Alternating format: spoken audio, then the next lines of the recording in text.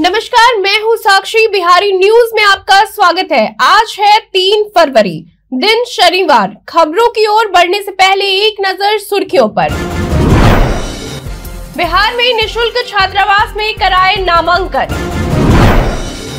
बिहार में सभी अस्पतालों में लगेंगे सीसीटीवी कैमरे। आईटीआई में कम अवधि वाले कोर्स के बाद मिलेगा रोज़गार। बिहार में कई लोगों को बेरोजगारी भत्ते का मिलेगा लाभ। भारत बनाम इंग्लैंड टेस्ट मैच के पहले दिन यशस्वी जायसवाल ने किया कमाल। अब चलिए बढ़ते हैं बिहार के अब तक की 25 बड़ी खबरों की ओर विस्तार से। एनएमडीसी ने अप्रेंटिस के पदों पर निकाली भर्ती।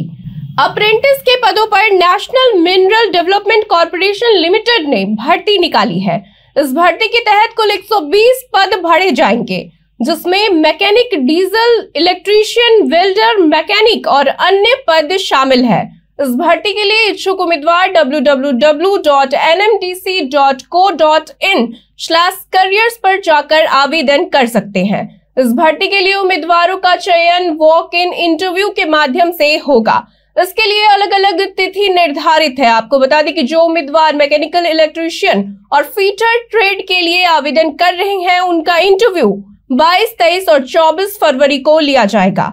वहीं जो उम्मीदवार welder machinist mechanical motor vehicle के लिए आवेदन कर रहे हैं तो उनका इंटरव्यू 25 और 26 फरवरी को लिए जाएँगे।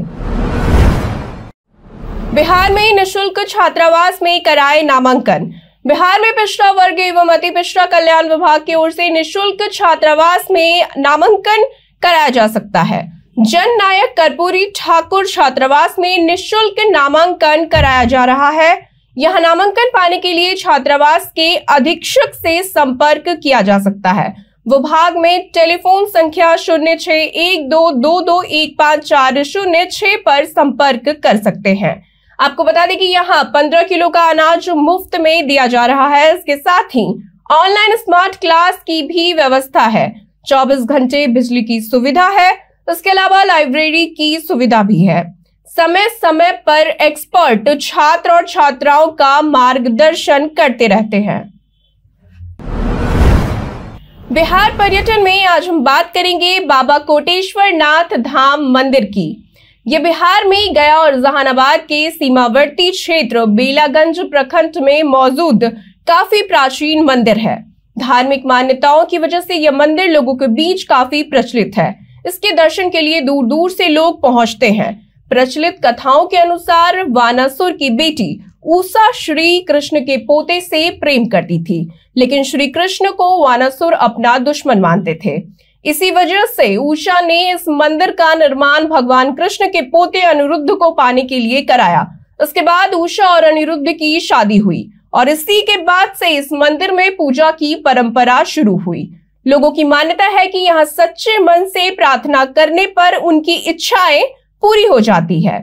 यहाँ का वातावरण बेहद ही शांत है और धार्मिक पर्यटन के लिहाज से सबसे बढ़िया है। बिहार में सभी अस्पताल में लगेंगे सीसीटीवी कैमरे। बिहार के सभी अस्पताल में अब सीसीटीवी कैमरे लगाए जाएँगे। स्वास्थ्य विभाग ने हॉस्पिटल की मॉनिटरिंग सिस्टम को और बढ़िया करने के लिए ये फैसला लिया है। सदर अस्पताल के बाद अनुमंडलीय अस्पताल में कैमरे लगने वाले हैं। इसके बाद अस्पताल में डॉक्टर और नर्स की उपस्थिति के साथ ही इलाज की गतिविधियों पर भी नज़र रखी जाएगी। वहीं अगर डॉक्टर इलाज में लापरवाही बरतते हैं तो उन पर कार्रवाई की जाएगी। आपको बता दें कि मिशन सुधार के तहत राज्य के अस्पतालों में सीसीटीवी कैमरा स्थापित किया जा रहा है। स्वास्थ्य विभाग के अपर मुख्य सचिव ने इसे लेकर आदेश जारी कर दिया है। बीपीएससी शिक्षक भर्ती फ़ेज़ तीन परीक्षा को लेकर के के पाठक ने दी जानकारी।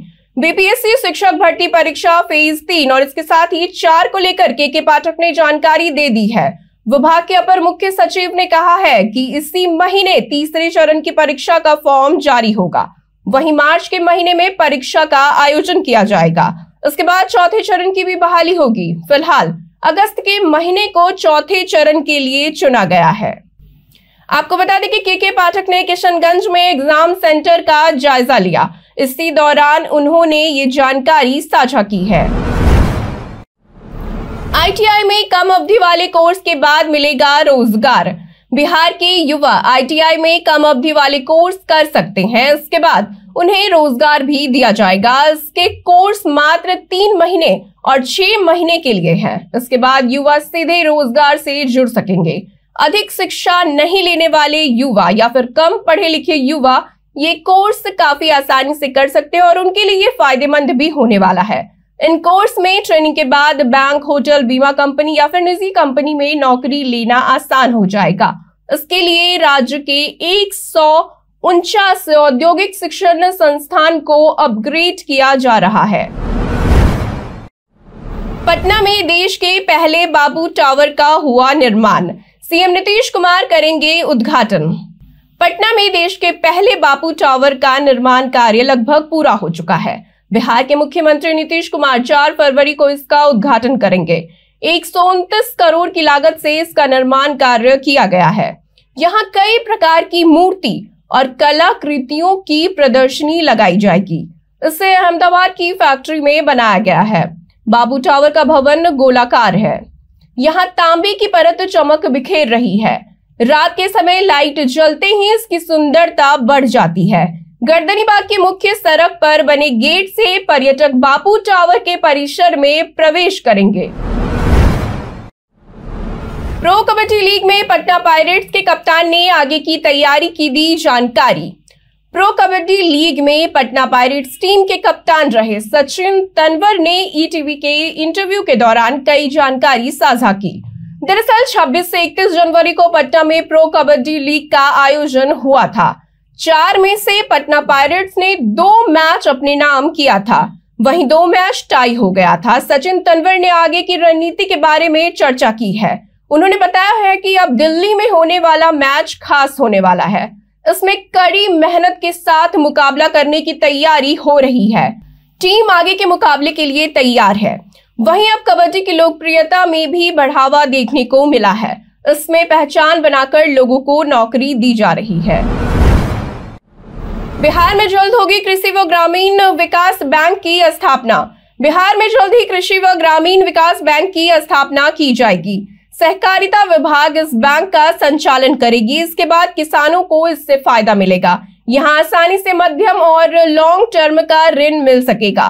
फ़िलहाल पूरे देश में इस बैंक की एक हज़ार इक्यावन शाखाएँ खुल चुकी है। इससे एक करोड़ बीस लाख किसान जुड़े हैं।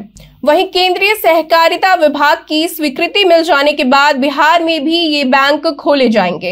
इसके लिए किसानों को आधुनिक खेती में लाभ मिलेगा। इसके साथ ही उन्हें पूंजी भी मिलेगी। बिहारी पहचान में आज हम बात करेंगे दुलारी देवी के बारे में। दुलारी देवी एक भारतीय कलाकार और चित्रकार है, जो मिथिला कला परंपरा में काम कर रही है। वे मधुबनी की कचहनी और भरनी दोनों शैलियों का अभ्यास करती है। उनके कामों को इंदिरा गांधी राष्ट्रीय मुक्त विश्वविद्यालय में मैथिली भाषा में पाठ्यक्रम सामग्री के हिस्से के रूप में चित्रित किया गया है। साल 2005 में उनके नाम को नरेंद्र नारायण सिन्हा की ओर से मधुबनी कला में पारंपरिक इमेजरी के उपयोग पर केंद्रित कर प्रदर्शनी के हिस्से के रूप में क्यूरेट किया गया। वहीं साल 2010 में देवी और कई अन्य लोक कलाकारों ने अपनी कला में आदिवासी लोक कथाओं को दर्ज किया, जिसे प्रकाशक तारा बुक्स ने सिल्क स्क्रीन प्रिंट की मात्रा में सन एंड मून शीर्षक से संकलित किया। वहीं साल 2018 में हेलीकॉप्टर में एक गाँव में पहुँचने वाले प्रधानमंत्री नरेंद्र मोदी शीर्षक वाली उनकी पेंटिंग सैन फ्रांसिस्को में एशियाई कला संग्रहालय में मधुबनी कला की एक क्यूरेट प्रदर्शनी का हिस्सा थी। साल 2021 में वो कला में उनके योगदान के लिए भारत सरकार द्वारा दिए गए नागरिक सम्मान पद्मश्री की प्राप्त करता थी। साल 2012 में state of Bihar award for excellent in art से भी उन्हें नवाजा गया। बिहार में शराब के इस मामले में अब बाइक नहीं होगी जब्त। बिहार में शराब मामले को लेकर पटना हाईकोर्ट ने फैसला सुनाया। राज्य में शराबबंदी है। फ़िलहाल बाइक के पीछे बैठे हुए व्यक्ति के पास अगर शराब मिलता था तो बाइक को जब्त किया जाता था। लेकिन इस मामले में बाइक चालक को अगर जानकारी नहीं है तो ऐसी स्थिति में अब वाहन को जब्त नहीं किया जा सकता है। इसके साथ ही वाहन चालक पर किसी भी प्रकार की कोई कार्रवाई नहीं होगी, उन्हें कोई भी सजा नहीं दिया जा सकेगा। गोपालगंज में एक महिला के नाम से पंजीकृत बाइक के पीछे बैठे व्यक्ति के पास तेरह लीटर शराब था। इसके बाद बाइक को जब्त कर लिया गया। पटना हाईकोर्ट ने इस फैसले को अवैध करार दिया। बिहार में डीएलएड दाखिले के लिए आवेदन शुरू। बिहार में डीएलएड में दाखिले के लिए आवेदन शुरू हो चुका है। बिहार विद्यालय परीक्षा समिति ने अलग अलग शिक्षण संस्थानों में संचालित होने वाले नए सत्र के लिए अधिसूचना जारी की है। डीएलएड बिहार डॉट कॉम पे आवेदन की प्रक्रिया जारी है। 15 फरवरी तक अभ्यर्थी ऑनलाइन मोड में अपना एप्लीकेशन सबमिट कर सकते हैं। आवेदन करने के लिए पहले पंजीयन करना ज़रूरी है। उसके बाद पंजीकृत फ़ोन नंबर और पासवर्ड के ज़रिए लॉगिन करना होगा। और इसके बाद परीक्षा शुल्क के साथ फॉर्म को जमा किया जा सकेगा। बिहार में कई लोगों को बेरोजगारी भत्ते का मिलेगा लाभ। बिहार में कई लोगों को अब बेरोजगारी भत्ते का फ़ायदा मिलेगा। महात्मा गांधी राष्ट्रीय ग्रामीण रोज़गार गारंटी योजना की बिहार बेरोजगारी भत्ता नियमावली 2024 को जारी किया गया। फ़िलहाल इसमें सुधार के प्रस्ताव को आमंत्रित किया गया है। वहीं जल्द ही कैबिनेट में भी इसे मंजूरी मिल जाएगी। इसके बाद मनरेगा में काम नहीं मिलने पर बेरोजगारी भत्ते का फ़ायदा लिया जा सकेगा। आपको बता दें कि ग्रामीण विकास विभाग ने 15 दिनों में काम नहीं मिलने पर बेरोजगारी भत्ते का प्रावधान किया है। दूसरी ओर वित्त विभाग ने भी इसकी मंजूरी दे दी है। गेंदबाज मुकेश कुमार की लेडी लक ने बदली किस्मत। बिहार के मुकेश कुमार ने टी ट्वेंटी और वनडे के बाद टेस्ट मैच में एंट्री की। स्टार गेंदबाज विशाखापट्टनम में दूसरे मैच में शामिल हुए। उसके बाद गोपालगंज में लोगों में खुशी की लहर दौड़ गई है। सभी का कहना है कि लेडी लक ने मुकेश कुमार को सफलता दिलाई। मालूम हो कि साल 2023 में मुकेश ने दिव्या सिंह के साथ शादी की थी। और इसके बाद वो काफ़ी मेहनत कर रहे हैं। पिछले साल वो वेस्ट इंडीज के दौरे पर भी थे। उन्हें टेस्ट वनडे और टी ट्वेंटी में भारतीय टीम में चुना गया। पश्चिमी विक्षोभ के कारण बारिश की संभावना। तीन फरवरी के बाद प्रदेश के कई हिस्सों में मौसम को लेकर थोड़े बहुत बदलाव देखने को मिल सकते हैं। ये बदलाव पश्चिमी विक्षोभ के कारण हो सकती है। इस कारण आने वाले दो से तीन दिनों में कई जगहों पर आंशिक बादल छाए रह सकते हैं। इसके साथ ही पटना समेत प्रदेश के कई जगहों पर हल्का कोहरा और तराई वाले इलाकों में बहुत घना कोहरा छाया रहेगा। हालाँकि, मौसम विभाग के मुताबिक आज का मौसम शुष्क रहने वाला है। प्रदेश का अधिकतम तापमान 22 से 24 और 24 से 26 डिग्री के बीच में रह सकता है। वहीं न्यूनतम तापमान 8 से 10 डिग्री के बीच रहने का अनुमान लगाया गया है। बीपीएससी परीक्षा के दूसरे चरण का सप्लीमेंट्री रिज़ल्ट जारी। बिहार लोक सेवा आयोग ने शिक्षक भर्ती परीक्षा फ़ेज़ दो का सप्लीमेंट्री रिज़ल्ट जारी कर दिया है। आपको बता दें कि फ़िलहाल पिछड़ा और अति पिछड़ा वर्ग के अंदर आने वाले छात्र और छात्राओं के लिए रिज़ल्ट जारी हुआ है। इसमें सात परीक्षार्थियों को सफलता मिली। बीपीएससी ने प्राचार्य के चार पद के लिए एग्ज़ाम के रिज़ल्ट की घोषणा की है। सामाजिक विज्ञान में अठहत्तर, गणित में सात, विज्ञान में सतहत्तर और हिंदी और अंग्रेज़ी में उनासी अभ्यर्थियों का चयन हुआ। बिहार लोक सेवा आयोग की आधिकारिक वेबसाइट पर परीक्षार्थी अपना रिज़ल्ट चेक कर सकते हैं। आरबीआई ने पेटीएम बैंक की कई सर्विस पर लगाई रोक। आरबीआई ने पेटीएम बैंक की कई सर्विस पर 29 फरवरी के बाद से रोक लगा दी है। उसके बाद यूज़र पेटीएम पेमेंट बैंक का वॉलेट यूज़ नहीं कर पाएँगे। वहीं केंद्रीय बैंक ने यूज़र्स को 15 मार्च तक का समय दिया है।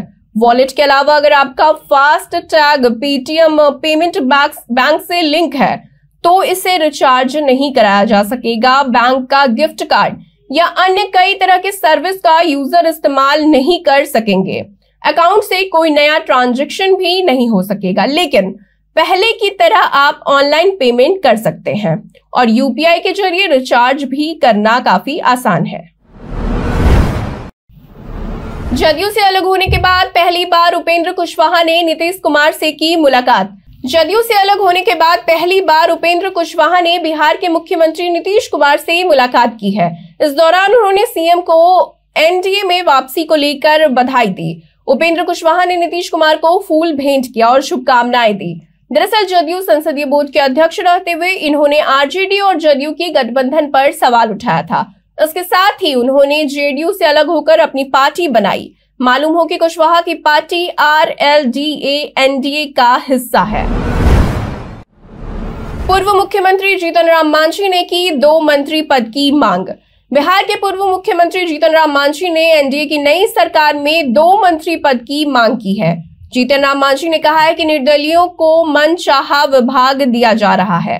हम पार्टी के अनिल कुमार सिंह को मंत्री बनाने की हम पार्टी ने मांग की है। पूर्व सीएम ने कहा है कि इसको लेकर उन्होंने सीएम नीतीश कुमार, अमित शाह, नित्यानंद राय सहित कई नेताओं से बातचीत की है। बिहार में मंत्रिमंडल के विस्तार को लेकर सम्राट चौधरी ने दी जानकारी। बिहार में नई सरकार का गठन हो चुका है, लेकिन मंत्रियों के बीच विभाग का बंटवारा नहीं हुआ है। इसे लेकर बिहार के उप मुख्यमंत्री सम्राट चौधरी ने कहा है कि जल्द ही ये काम पूरा किया जाएगा। सीएम नीतीश कुमार को ये काम करना है। इधर अरविंद केजरीवाल को समन भेजे जाने पर सम्राट चौधरी ने कहा है कि भ्रष्टाचारी नहीं बच सकते हैं। झारखंड के नए मुख्यमंत्री बने चंपई सोरेन। चंपई सोरेन ने झारखंड के नई मुख्यमंत्री के तौर पर शपथ ली है। ये झारखंड के बारहवें सीएम है। इनके साथ आलमगीर आलम और सत्यानंद भोक्ता ने भी मंत्री पद की शपथ ली है। आपको बता दें कि हेमंत सोरेन ने बुधवार को मुख्यमंत्री के पद से इस्तीफा दे दिया था और इसके बाद चंपई सोरेन को विधायक दल का नेता चुना गया। इधर, हेमंत सोरेन को पाँच दिन की ईडी रिमांड पर भेजा गया है। पीएमएलए की विशेष अदालत ने ये फैसला सुनाया है। हालाँकि ईडी ने झारखंड के पूर्व सीएम के लिए 10 दिन की रिमांड मांगी थी। भारत बनाम इंग्लैंड टेस्ट मैच के पहले दिन यशस्वी जायसवाल ने किया कमाल।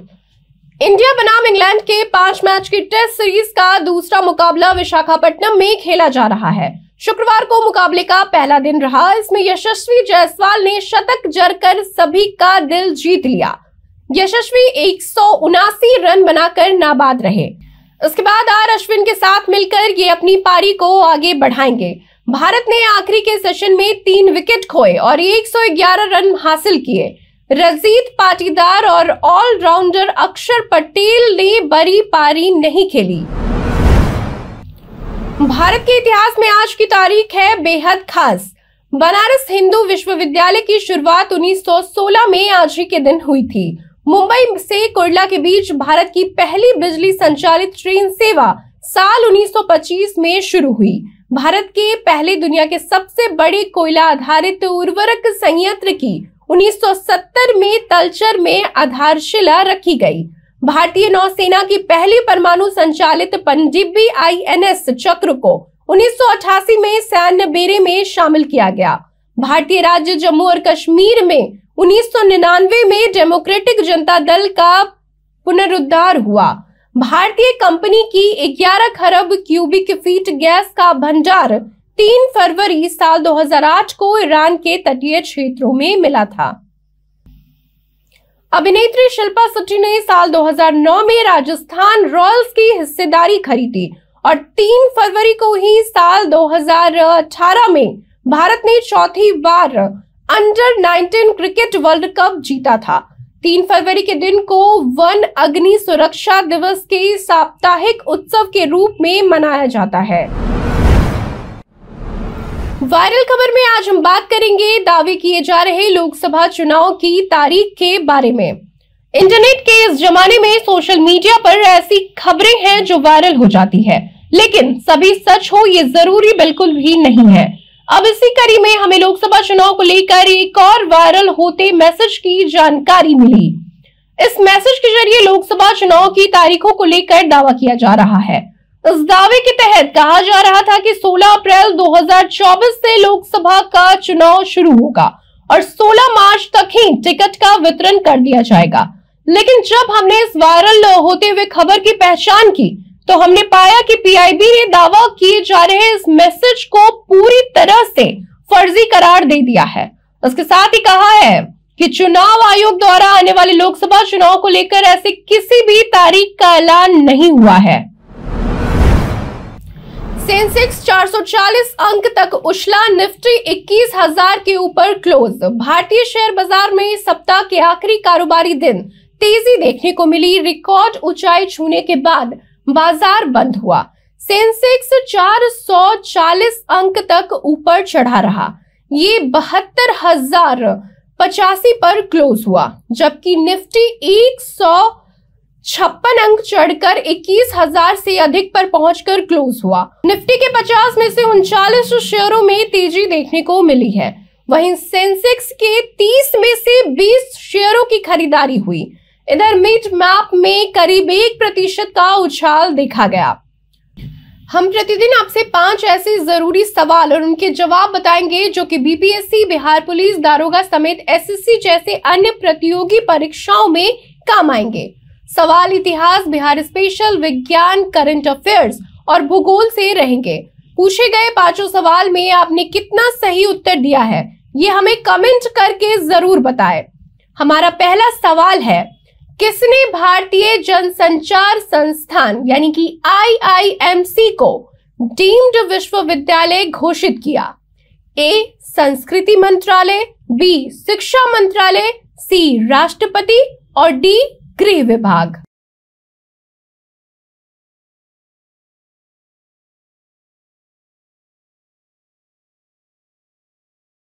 इसका सही उत्तर है शिक्षा मंत्रालय। अगला सवाल है, रक्षा मंत्री राजनाथ सिंह ने कहाँ पर भारत अमेरिका वाणिज्य मंडल के सम्मेलन में भाग लिया? A, Gujarat, B, Maharashtra, C, New Delhi या फिर डी, पटना?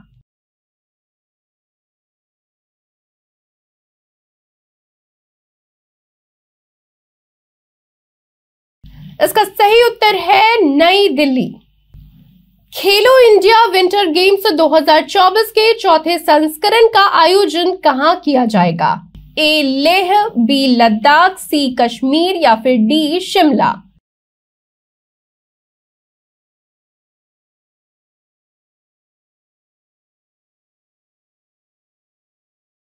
इसका सही उत्तर है लेह।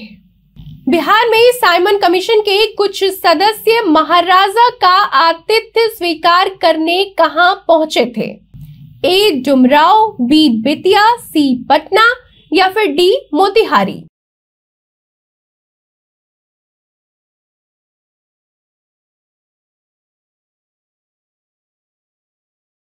इसका सही उत्तर है डुमराव।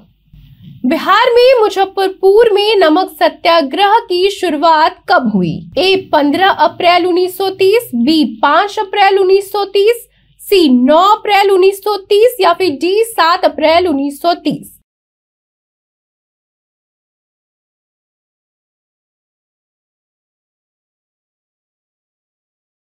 इसका सही उत्तर है 7 अप्रैल 1930 बीते दिन हमारी ओर से पूछे गए सवाल का आप लोगों में से कई लोगों ने अपना जवाब हमें हमारे कमेंट सेक्शन में दिया।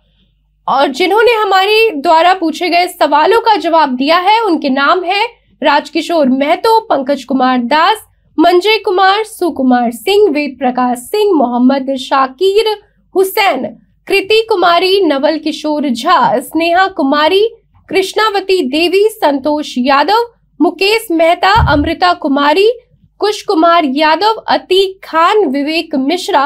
इसके साथ ही बढ़ते हैं आज के सवाल की ओर। आज का हमारा सवाल है, आपके अनुसार चल रहे भारत बनाम इंग्लैंड के दूसरे टेस्ट में किसका पलरा भारी नज़र आ रहा है? आप अपना जवाब हमें कमेंट में लिखकर ज़रूर बताएँ।